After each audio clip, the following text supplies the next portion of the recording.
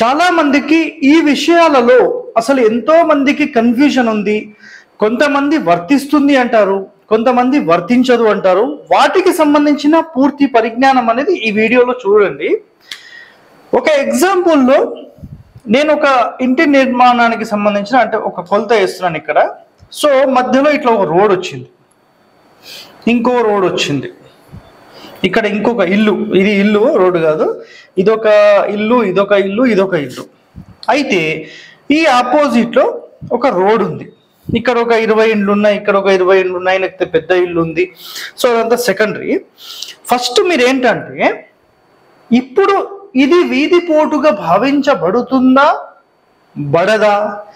అనే క్లారిటీస్ చెప్తాను. చాలామంది ఒక మాట ఏం చెప్తారంటే అపోజిట్గా ఏదైతే వీధి పోటు వచ్చే రోడ్ ఉందో ఈ రోడ్ ముప్పై అడుగులు ఉండి ఈ రోడ్డు కూడా ముప్పై అడుగులు ఉంటే ఈ వీధి పోటు దోషం వర్తించదు అన్నారు. ఇది చాలా మంది సమాజంలో మనకు చెప్తూ ఉంటారు. అంటే కొంతమంది పర్వాలేదండి ఏమీ కాదు అని మాట్లాడతారు. అయితే నేను దీనికి యాక్సెప్టెడ్ అనుకుందాం.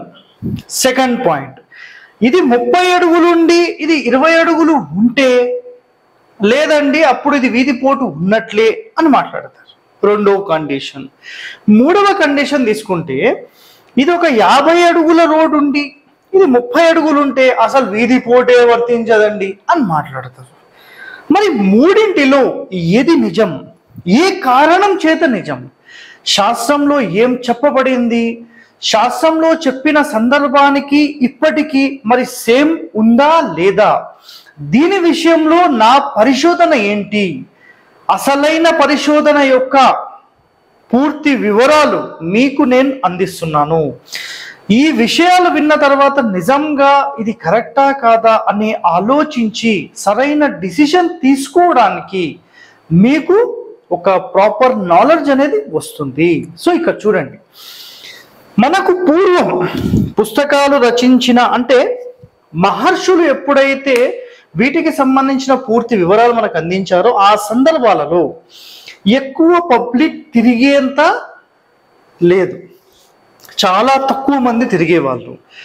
అప్పట్లోని కండిషన్స్ ఎట్లా ఉండేవంటే ముప్పై అడుగుల రోడ్డు ఉండి ముప్పై అడుగులు ఉంటే పర్వాలేదండి నో ప్రాబ్లం అంటాడు. ఎందుకంటే చాలా పబ్లిక్ అనేది తక్కువ తిరిగేది. ఈ కాలం ఎక్కువైపోయింది.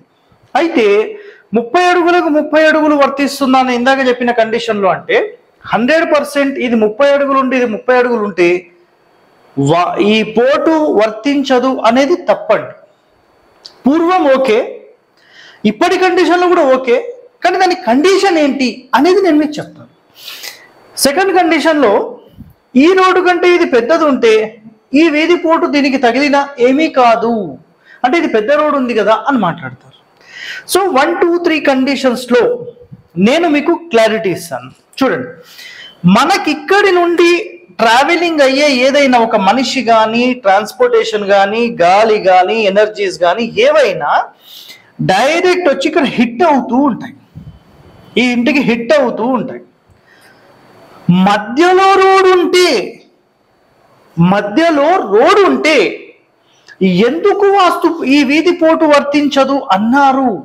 అనే కారణం తెలుసుకోవాలంటే ఇక్కడ చూడండి కరెక్ట్గా ఆలోచన చేయండి మీరు కూడా.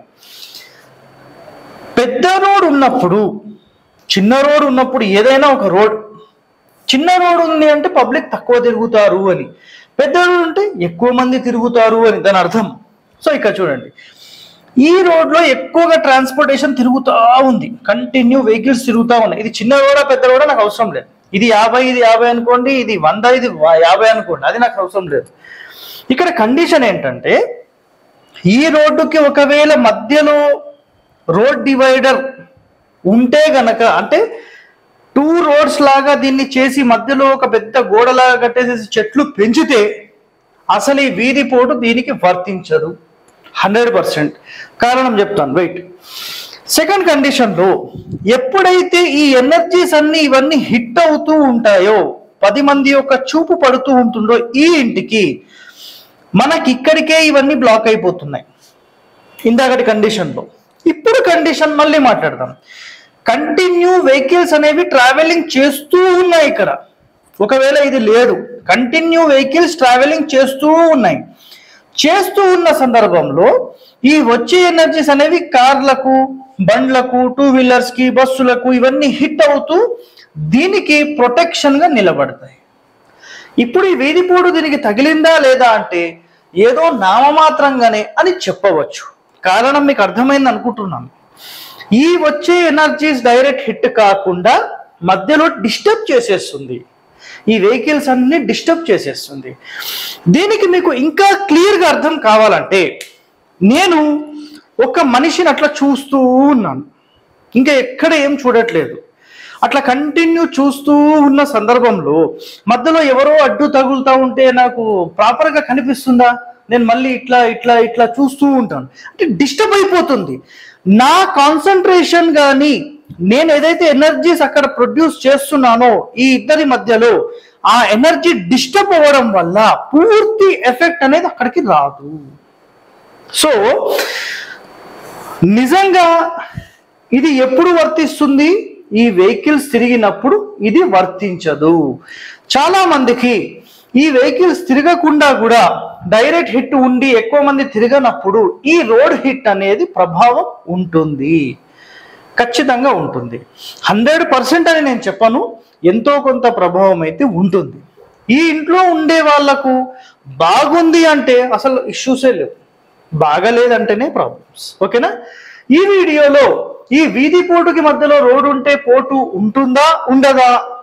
వాటికి సంబంధించిన పూర్తి పరిజ్ఞానం మీరు ఈ వీడియోలో నేర్చుకున్నారని భావిస్తున్నాను. మీరు మా హరివాస్తు ఛానల్ మాత్రమే కాకుండా ఇతర మనకు ఫేస్బుక్ ఇన్స్టాగ్రామ్ ట్విట్టర్ దాని తర్వాత షేర్ చాట్ మోస్ట్లో కూడా మనకు అకౌంట్స్ ఉన్నాయి. వాటన్నిటిలో కూడా సబ్స్క్రైబ్ చేసుకోండి. థ్యాంక్ యూ అండి.